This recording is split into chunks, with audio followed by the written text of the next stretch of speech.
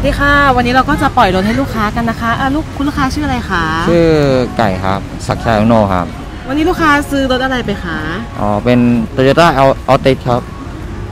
อ่อลูกค้าได้รับโปรโมชั่นอะไรเอ่ยมาที่นี่อ่าได้รับโปรโมชั่นออกรถร้อยเดียวครับ ได้รับส่วนลดอีก 30,000 บาทครับ ความรู้สึกออกรถที่นี่เป็นยังไงบ้างคะรู้สึกดีมากเลยครับ ช่วยดีมากเลย ดันทุกเคสครับ